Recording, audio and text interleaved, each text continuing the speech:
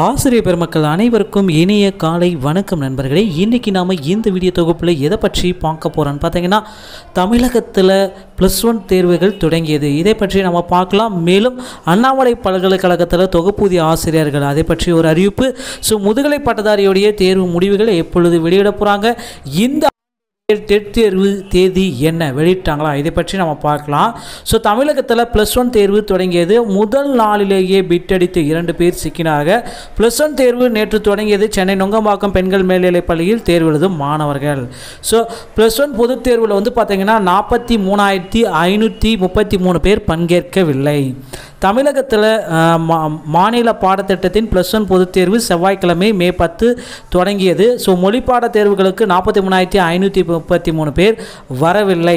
தமிழகத்தில் plus two பொதுத் தேர்வு கடந்த ஐந்தாம் தேதி நடைபெற்றது. ஆறாம் தேதி தொடங்கின ஸ்ட்ரென்த்துக்கு ஸோ அதுலேயும் நிறைய பேர் வரல இதுலேயும் நிறைய பேர் வரல. என்ன இஷ்யூன்னு தெரியல. அதை பற்றி பள்ளி கல்வித்துறை ஒரு விசாரணை போயிட்டுருக்கு.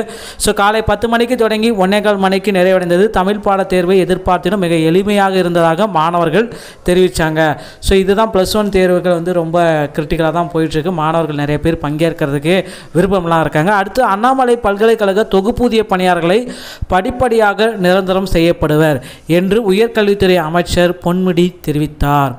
தமிழக சட்டப்பேரவையில் செவ்வாய்க்கிழமை கேள்வி நேரத்தின் போது இது குறித்து வினாவை சிதம்பரம் தொகுதி உறுப்பினர் கே. ஏ. பாண்டியன் எழுப்பினார். அப்பொழுது நடந்த விவகாரம் கே. ஏ. பாண்டியன் அதிமுக சிதம்பரம் அண்ணாமலை பல்கலைக்கழகத்தில் இரண்டாயிரத்துக்கும் மேற்பட்ட தொகுப்பூதிய பணியாளர்கள் உள்ளனர். அவர்களை வருகிற முப்பத்தி ஒன்றாம் தேதிக்கு பிறகு பணிக்கு வர வேண்டாம் என நிர்வாகத்தின் தரப்பில் கூறப்பட்டது. ஆழ்ந்த கவலையில் உள்ள அவர்கள் பணி நிரந்தரம் செய்ய வேண்டும். ஸோ அமைச்சர் பொன்முடி தனியார் பல்கலைக்கழகமாக இருந்தபோது தேவைக்கு அதிகமான பண் பல்கலைக்கழக பணியாளர்களை நியமித்தனர். பல்கலைக்கழகத்தை அரசு ஏற்கொண்ட பிறகு பல்வேறு பிரச்சனைகள் எழுந்து கொண்டு இருக்கின்றன ஸோ ஐந்தாயிரம் மாத ஊதியத்தில் நூற்றி முப்பது பேர் பணிபுரிகிறாங்க. ஸோ மே மாதத்திற்குள் அவர்களை பணியிலிருந்து செல்ல வேண்டும் என கூறவில்லை. ஓராண்டு தொடர்ந்து பணியாற்ற வ- அறிவுறுத்தினோம். ஸோ வேறு இடங்களில் அவங்க வேலை கிடைச்சிட்டு முன்னாடி மாற்றிக்கலாம் அப்படின்னு கூட சொல்லிகிட்ருக்காங்க ஆனால் இப்போ வந்து பார்த்திங்கன்னா அவர் வந்து குறிப்பிட்டிருக்காரு படிப்படியாக பணியாளர்களை நிரந்தரம் செய்வோம் பணி நிரந்தரம் செய்வோம் அப்படின்ற ஒரு அறிவிப்பை வந்து சிதம்பரம் அண்ணாமலை அந்த பல்கலைக்கழகத்தில் இருக்கிற ஊழியர்களுக்கு இந்த அறிவிப்பை கொடுத்துருக்காங்க. ஸோ இதுக்கு வலியுறுத்தினோம். வேறு இடங்களில் நிரந்தர பணியிடங்கள் காலியிடங்கள் தேவைப்படும் பொழுது இந்த அண்ணாமலை பல்கலத்தில் தற்காலிக பணியாளருக்கு நியமன ஏற்பாடு செய்யப்படும். ஸோ கார்த்திகேயன் வேலூரில் செயல்பட்டு வரும் அறிவியல் மையத்திற்கு ஏற்கனவே இது போன்று கலைஞர் அறிவியல் மையம் என்ற பெயர் சூட்ட வேண்டும். ஸோ இந்த மாதிரி அவர் குறிப்பிட்டிருக்காரு. இந்த மாதிரி ஒரு செய்தி. விரைவில் வந்து பணி நிரந்தரம் செய்கிறதுக்கு வாய்ப்புகள் அதிகமாக உள்ளது. ஸோ இந்த ஆண்டோடைய ஆசிரியர் தகுதி தேர்வு டெட் தேர்வு தேதி அறிவிச்சிட்டாங்களா? ஸோ நிறைய நபர்கள் கேட்டுட்ருக்கீங்க டெட் தேர்வு தேர்வு ஜூன் இருபத்தி ஏழாம் தேதி நடக்குமா? ஸோ அப்படின்னு கேட்டுட்ருக்கீங்க. ஆனால் உண்மையான தகவல் வந்து பார்த்தீங்கன்னா டெட் தேர்வு தேதி வந்து ஜூன் இருபத்தி ஏழாம் தேதி எக்ஸ் சரியாக சொல்லலை. ஆனால் கோர்ட் வந்து பார்த்தீங்கன்னா ஜூன் மாதம் இறுதிக்குள்ளார டெட் தேர்வு தேதியை எழுதி மு- டெட் தேர்வை கம்ப்ளீட் பண்ணணும் அப்படின்னு சொல்லியிருக்காங்க. ஸோ இன்னும் ஒரு மாத காலத்தில் இந்த அறிவிப்பை வெளியிடுவாங்களா? டிஆர்பிலேருந்து ஸோ நம்ம பொறுத்து வந்து நம்ம பார்க்கலாம். இந்த டீச்சர்ஸ் ரெக்யூர்மெண்ட் போர்டு சி என்ன பண்ணுறாங்கன்றது எல்லாமே நம்ம பார்க்கலாம். டீச்சர்ஸ் எலிஜிபிலிட்டி டெஸ்ட்டை பற்றி அடுத்த அறிவிப்பு இவங்க எப்போ வெளியிடுவாங்களோ வெளியிடுறதுக்கு வாய்ப்புகள் அதிகம்.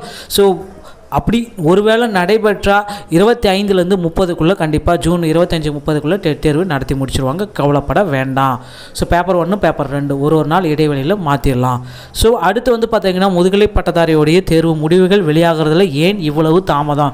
ஸோ முதுகலை பட்டதாரியை பொறுத்த வரைக்கும் பார்த்தீங்கன்னா ஆல்மோஸ்ட் ப்ராசஸ் எல்லாமே முடிச்சிட்டாங்க. அப்ஜெக்ஷன் ட்ராக்கரும் ஒரு நாற்பத்தஞ்சாயிரம் பேர் வல்லுநர் குழு எல்லாமே ஆராய்ஞ்சிட்ருக்காங்க ஸோ விளைவில் வந்து பார்த்திங்கன்னா முதுகலை பட்டதாரியோடைய அப்ஜெக்ஷன் எல்லாமே முடிச்சுட்டு ஸோ தேர்வு முடிவுகள் வெளியாகிறதுக்கு இன்னும் ஓரிரு தினங்கள் இருக்குது ஸோ வரும் வெள்ளிக்கிழமை இல்லைனா திங்கட்கிழமைக்குள்ளே முதுகலை பட்டதாரியோடைய தேர்வு முடிவுகள் வெளியாகிடும்.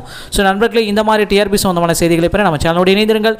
வீடியோ பார்த்தமைக்கு நன்றி. அடுத்த வீடியோவில் இன்னொரு செய்தியோடய உங்களை சந்திக்கிறேன். நன்றி என்பா தேங்க்ஸ் ஃபார் வாட்சிங் தேங்க்யூ